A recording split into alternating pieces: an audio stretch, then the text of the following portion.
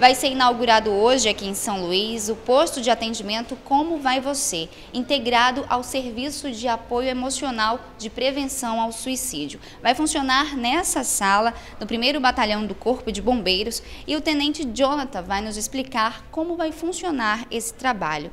Olá, Tenente, como vai funcionar o trabalho do Como Vai Você aqui em São Luís? Isso, o Como Vai Você vai ser integrado a uns 90 postos pelo país. Se você ligar hoje para o número 188, vai cair um desses postos, que vai funcionar aqui no Corpo de Bombeiros.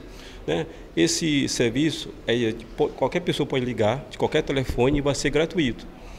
E um, vai ter um voluntário aqui nessa sala para atender.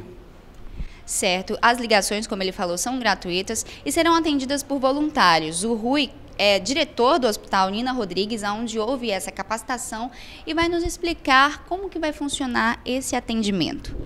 É, a população, no momento que ligar para um telefone 188, terá um voluntário capacitado que vai escutar suas demandas, tentar organizar o pensamento daquilo que está sendo dito e devolver a esse indivíduo.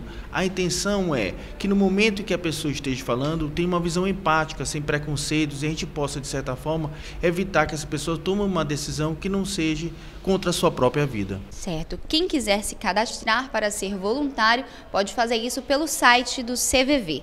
Mariana Dias, para o Voz das Ruas.